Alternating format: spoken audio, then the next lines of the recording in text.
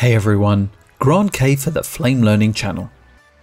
In this video, we'll examine some of the enhancements made to the viewports in Flame 2017 Extension 1. This means that the viewports should react more predictably with general interaction. This video is not footage specific, so you can use your own media to follow along. Firstly, call up the Preferences menu and choose the Timeline Effects Batch Batch Effects tab.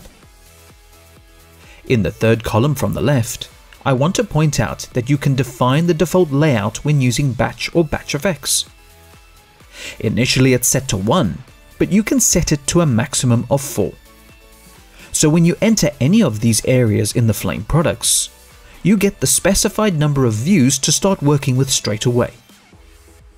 It's also worth mentioning that with the preferences, you can decide which viewport can have the schematic view.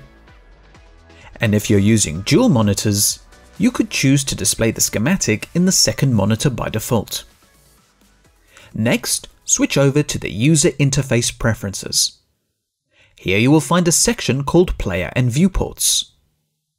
The default settings are Fit by default, Fit allows upscale off, and default home is 100%. Now before you fiddle with any settings, let's see what this means.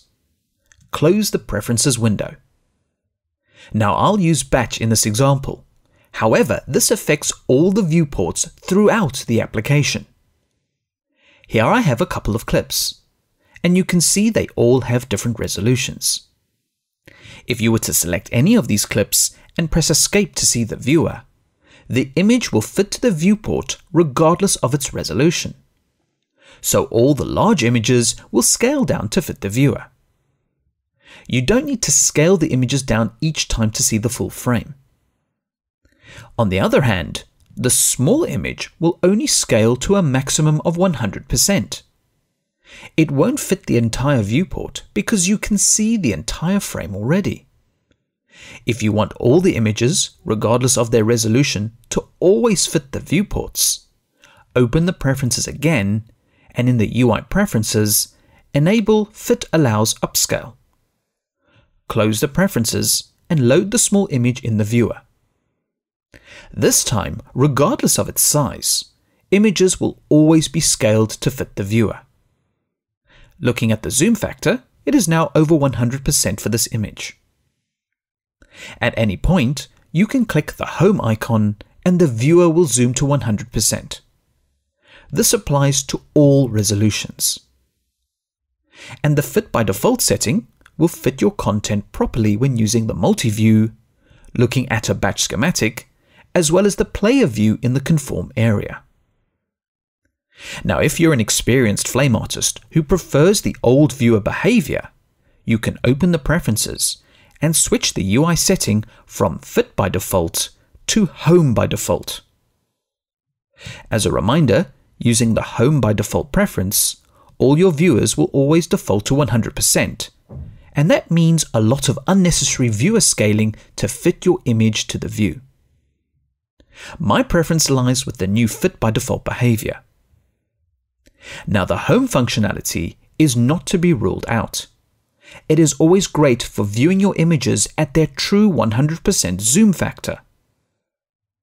The home button has always behaved in that way, but there is also a new preference to change the default home percentage. For example, set the default home to 75%. Now close the preferences. Let's take this media and go to the full screen player. The next time you press the home button, it will zoom the image to 75%. This can be very handy if you want to see the full frame and some extra empty space around it. This is also very useful when using high DPI monitors. For example, an HD frame does not look very big on a 4K monitor. So you set the default home percentage to 200%, and this will make better use of the screen real estate. You can customize these zoom factors to whatever screen and resolution you are using with Flame. A really huge point to make here is that the zoom and pan factors within the schematics are now part of the batch setup. So when you reload a batch setup or even restart the application, The zoom and pan factors in the schematic should restore as you last left it.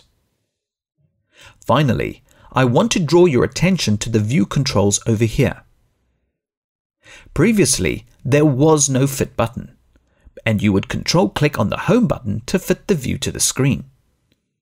With the fit button in Flame 2017 Extension 1, it is more gestural and faster to access. So control clicking the home button should be a thing of the past.